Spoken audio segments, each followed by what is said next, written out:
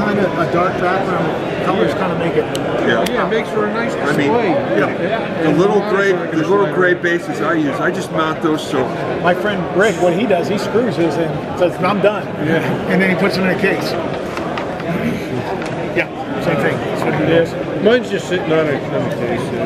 Well, the reason why I like that, nobody touches my cars, including me. That's why I put them on the bases. The other thing is, This case has something. I got that, I got that gray, screaming deal in four by eight foot sheet.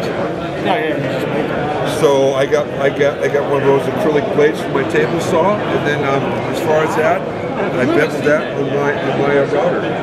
So yeah, Oh, that's neat. So you just cut up, cut up uh, acrylic. Where'd you get like these little decals? Are they came with the kits? Yeah, they're on the these decal sheet. come, these these are on the the uh, decal sheet. Yeah, so I Okay. so I, I